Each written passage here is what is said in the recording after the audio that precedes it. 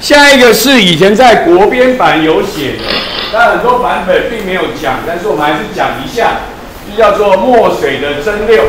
这个瓶子里面放红墨水，在蒸馏瓶里面去加热，加热的时候有气体会跑出来，经过锂闭式冷凝器冷凝，收集它这个液体，然后呢，那这个东西一煮一煮，然后让它分开，也是利用沸点的不同，这个方法叫做蒸馏法，这方法叫蒸馏法。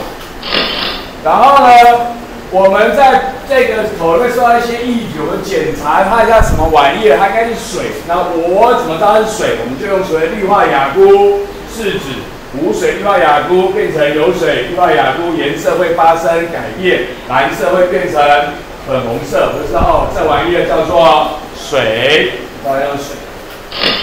然后呢，这蒸馏瓶你会剩下一些色素，色素把它刮起来，放到滤纸上，然后滴管滴水，叭叭叭，我就发现它会变成一圈一圈的。然后呢，因为所谓的附着力不同，附着力小的跑到比较外面，附着大的跑在留在比较里面。这个方法叫做滤纸色层分析法，滤纸色层分析法。所以就是把它的色素分离，我就知道那个色素也是一个混合物，有很多种不同的色素，不同的色素。那个锂闭式冷凝器以前是有教授是一个重点，重点在它有两个出入口，而问你说要怎么放，我们的冷水从下面进去，温水从上面出来，这跟对流有关系，因为对流的时候热的会往上走，冷的会在下面，所以呢我们就按照正常的状况，冷的在下面，热的从上面出去，这样就不会自己跟自己打架，跟自己打架。所以我们就问你说，冷水从哪里进去，温水从哪里出来？这是锂闭式冷凝器的一个重点，OK？那么这里有一个温度计，温度计，然后放在那个支管的分叉口，放在这里的目的是要你确定你量到的事情是跑出来的蒸汽的温度，然后你发现它是一百度，就知道它是什么玩意儿，是水。所以你有两个方法知道它是水。第一个是因为这个蒸汽的温度是一百，所以沸点是一百，所以它是水。第二个是那个氯化亚钴试纸检查，它就是水，啊，是它是水。所以我们说这个温度计要放在这边。好，于是我们就停车站借问。这个仪器叫做什么名字？我刚才有告诉你了。叫做八八八八八，帅哥男无啊，这个人不在。帅哥男这里都没有帅哥男呢，搓一把都没有帅哥男。呃，哦，那玩意儿叫什么？锂闭式冷凝器，请坐下。这个玩意儿叫做锂闭式冷凝器。请问你冷水从哪里进去？温水从哪里出来？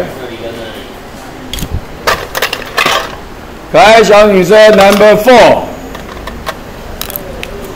是啊。冷水从上方还是下方？冷水要从下面进去，温水从上面出来。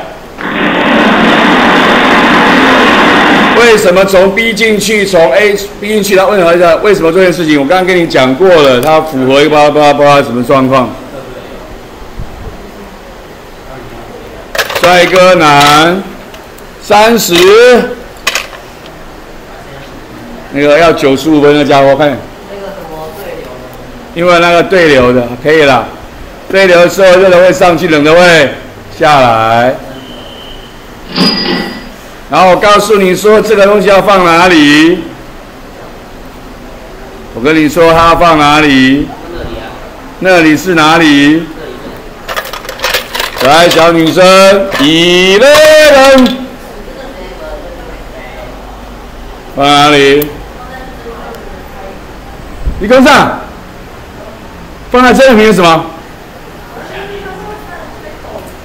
我不叫，我跟你讲，不叫开口了。我跟你讲，那是支管的那个位置啊。来，请坐。最后收集到的气体是什么东西？你们知道？你怎么知道那玩意儿的？最后那个液体是什么？你怎么知道它是那玩意儿的？你们班也没有三十八号，三五。